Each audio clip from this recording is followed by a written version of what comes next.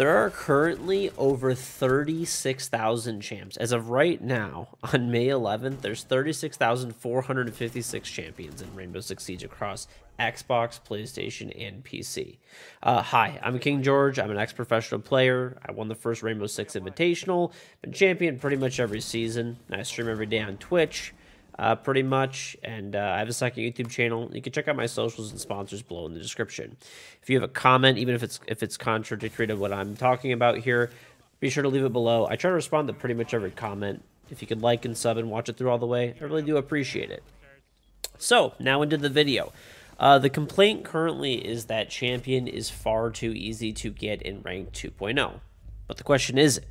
Uh, well, there's 36,456 champions in the making of this video, which is a pretty high number, right? That sounds like a pretty high number, but let's break it down. Also, if you have, uh, you know, wonder how Rank 2.0 works, I'll put a little card up. I did make a video on that as well if you want to go through and watch that. Um, so both both console platforms have over 10,000 champions.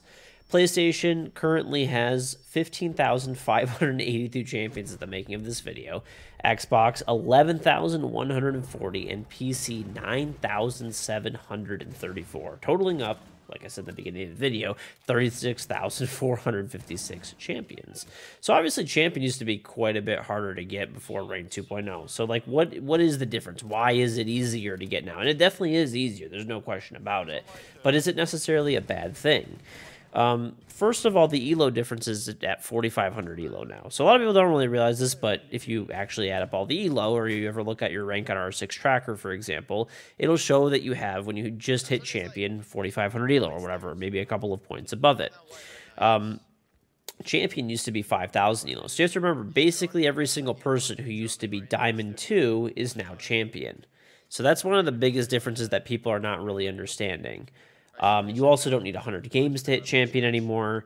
Um, you know, and it's overall, I think the Elo system is a bit more forgiving, definitely at this point, I would say. Uh, you get a lot of elo in the beginning, and if you go on a quick win streak, you basically continuously get that much elo for a long time, whereas if you go on a loss streak, you lose more. So I kind of talk about this in like that rank 2.0 video that I was talking about earlier. But yeah, so you can go on a win streak or a loss streak. Like I think I got champion this season in like 40 games or so, roughly, and I got it in three days, like 30 or 40 games. It was like pretty quick. Especially now, they even made the system more aggressive in the beginning, where you get like 120 something elo per win uh, in the beginning, which is which is pretty nuts. Um, also, uh, something that I noticed kind of when I was going through this. So, where did I get all of my numbers for these? You know, finding these exact amount of people. So basically, I went on the R6 tracker and I was skipping around the pages until I could find people that were exactly under 4,500 elo.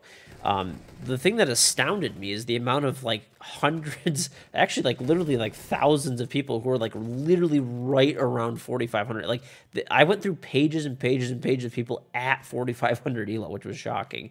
Uh, so what does that like kind of tell you? Obviously, there might be people that just kind of hover around that rank, but I think a lot more people just get boosted to that level. They either get there or they get boosted to that level or kind of skirt their way around. I mean, you can play with anybody of any rank right now. That's a whole nother discussion for another video, which I do think is a positive thing overall. But I mean, people can queue with like coppers now, like legitimate hidden elo coppers, and you know, potentially a champion, right? Like they'll they'll play easier people on average.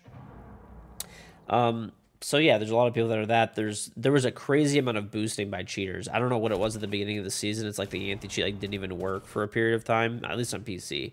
Um, and you know people were paying for boost and like they weren't banning anybody. It was crazy. It's it's calmed down a lot now. The cheating situation has definitely been kind of like leveled out, which is a good thing. Um, also, when you think about the number, obviously that's a huge number, 36,456 people, right? But millions of people do play this game, right? And I kind of want to talk about like the positives and the negatives of rank 2.0 champions, as we kind of call them right now, right? Um, overall, in my opinion, I do think it's fine, and, I, and I'll kind of talk about why. I think there's more positives than negatives.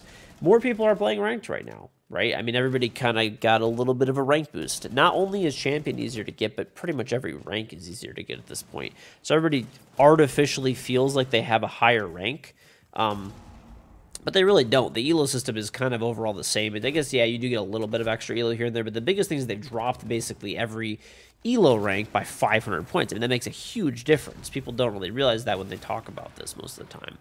Uh, but but basically, the, the, Ubisoft put out a little thing where like 41% or something, I don't know, something like that. It was around 40% of more people were playing ranked this season, which is pretty awesome. So, I mean, overall, that's a good thing, right? A healthy player base and happy player base is a good thing. I generally see people being happier when they're playing. I know a lot of it, I've talked about the meta being super brain dead. I made a video on that too. I'll throw a card up for that one as well, maybe. Uh, if you want, you can just check my channel for it though. But yeah, I mean, people are generally, it seems like, happier with the game right now. I mean, maybe that's because they've gotten this like artificial rank boost and, and people are happy that they can hit a higher rank. And at the end of the day, it's a video game, right? People are supposed to be having fun. Ranked is not the pinnacle of competitive play. There is, you know, Go fours for that type of thing. And, well, I guess now there's what, Go fives or the new one or something. I don't know. There's amateur competitive play in tournaments and stuff like that, right? And the biggest thing is if you want to compete within champion rank and really work on that grind, I mean, there's a big difference between champion 15,582 on PlayStation, you know, and champion number one, right? So you still could be anywhere in between that, like champion 100 or champion 500. Like, you know what I'm saying? Like, those higher ranks in the champion rating is all the difference in the world. Uh, and I do think it's also, I mean, as I was just talking about people getting boosted and cheating, I do think overall it has lowered the amount of boosting and cheating in total. I know that I just talked about a bunch of people getting boosted from cheaters and stuff like that, but I do think it has overall. Um, you know, I think, and I think uh, I'll talk about a system in that as well. Uh, I think you know it's a rank decay system. We'll talk about in a second. Uh, but I think it's lowered about also lowered the amount of people doing anything to win. What do I mean by that? People using glitches and scummy tactics and stuff stuff like that, right? Cheating. Um, I do think those things obviously still exist, but it doesn't seem as badly. I also think that's credit to Ubisoft as well. They've patched up the game definitely a lot more lately. Um, and you remember, you still have your hidden elo system in the background, and and you can't be copper and hit champion once again go through my channel. I have videos on this type of stuff, so you can't be a copper who hits champion. Um, okay, so I talked about all the positives and stuff like that. Let's talk about the negatives because there definitely are some as well. One thing I've noticed, and I think it's kind of led a lot to the TDM meta that we currently have right now, is people don't really care as much, right? Well, I hit champion. It was like easier. Say I'm normally like a champ player and I'm pretty comfy in the champion five, 600 points. I'm going to run around and play for KD. I'll be champion with a high KD because I bait a lot. And maybe they don't play the game correctly, right? So I think that does is probably part of the TDM meta issue that we kind of have right now.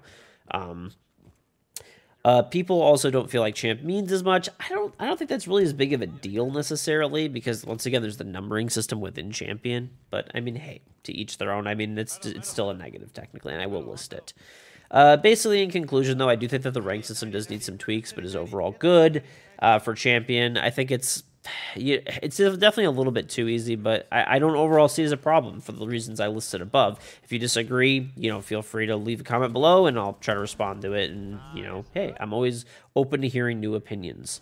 Um, I do think that the loss win streaks and loss streaks and win streaks are affect way too much. I think they should be removed, and there should be a set set amount of elo that you're gaining and losing. Um, and I also think I've also heard the thing of making a rank above champion I don't like that honestly because I think it just encourages like once again you kind of go back to the old system where people are just doing whatever it takes to get that W, right?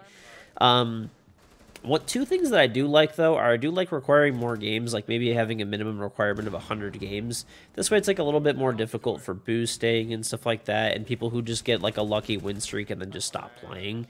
And I also think something that could be kind of cool is the rank as a rank decay. So what is a rank decay? If you don't play after a certain amount of time, you fall out of champion. Maybe they could just leave it only for champion rank, but you fall out of champion if you don't play like X amount of ranked games like honestly, like you should really be playing like a game a week, right? Or whatever. Make it a game every 10 days, two weeks, whatever it is. The system doesn't really, you know, necessarily matter. But I think a rank decay could help a lot. It actually shocked me when I was going through the list on R6 tracker of all the people who were just above champion and were literally, I clicked on some of their names for the hell of it and they had not played like any ranked game since like, like literally two months ago. Cause now we're at the very end of the season, right?